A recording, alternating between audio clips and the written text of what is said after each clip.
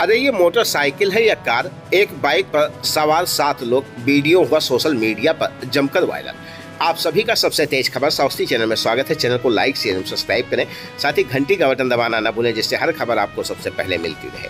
खबर उत्तर प्रदेश के बाराबंकी जनपद से है, जहाँ पर एक युवक ने बाइक को कार बना डाला।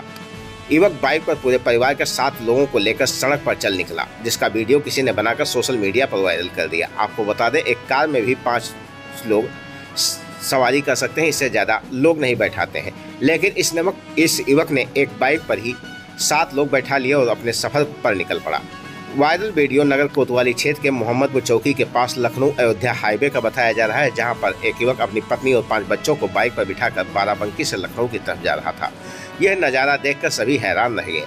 वहीं इस बीच बाइक सवार सभी लोगों का वहाँ से गुजर रहे दूसरे शख्स ने वीडियो बना लिया, जो अब सोशल मीडिया पर जमकर वायरल हो रहा है। युवक ने बताया कि बाइक पर बैठे लोगों में उनकी पत्नी और बच्चे हैं, वो सभी को लेकर लखनऊ की तरफ़ जा रहा।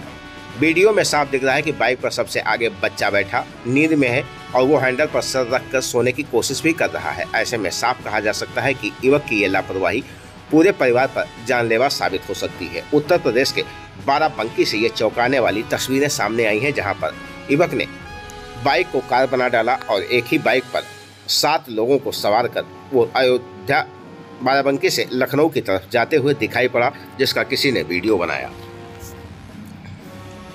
तस्वीरें देखकर आप भी दंग रह जाएँगे कि बाइक पर सात लोग के साथ साथ अगल बगल सामान भी लदा हुआ है, वहीं उसका बेटा बाइक पर सर रखकर सोने की कोशिश में लगा हुआ है।